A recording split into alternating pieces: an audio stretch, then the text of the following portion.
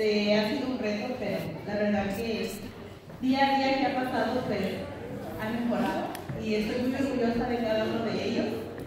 Todos los sábados hemos tenido convivencia en la clase y siento que um, los lazos se han afirmado mejor.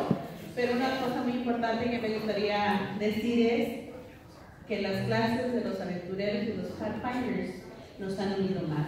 Y yo le quiero dar gracias a Dios la presencia del pastor, su esposa y su cuñada, porque gracias a que ella tiene la iniciativa, esta iglesia tiene esos plus.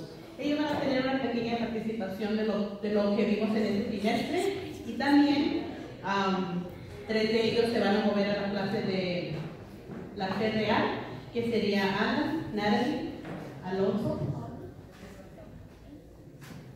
y Stephanie. ¿Okay?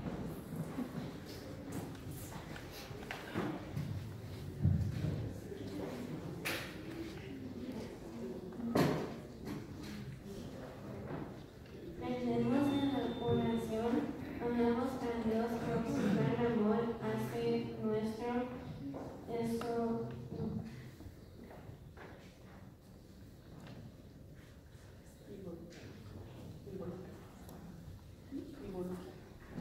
Involucra cuando nos dedicamos todo lo que hacemos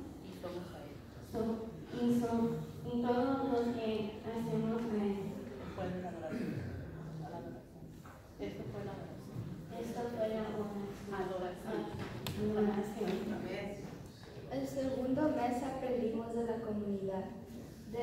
Debemos entender el propósito de Dios en nuestras vidas y cómo, y cómo se debe reflejar el amor de Dios con nuestros amigos y eso resulta cuando hemos aceptado la gracia de Dios.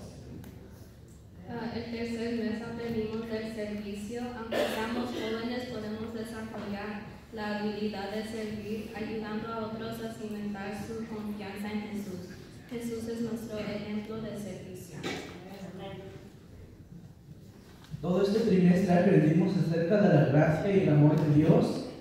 Y la gracia de Dios es ah, su poder y su poder es el que te encuentra, te perdona y te llena de todo lo necesario para vivir una vida llena y plena de Él.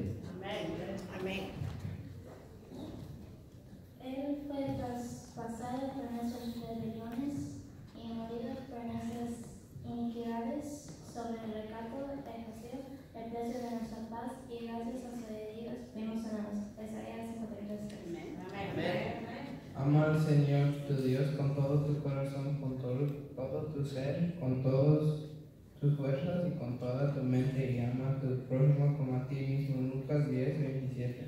Amén. Les damos las gracias y también les pedimos que nos añadan a sus oraciones porque eh, pues están en una edad de cambios y sabemos que solamente el poder de Dios nos puede ayudar a pasar estos cambios. Esto fue nuestro, nuestra presentación.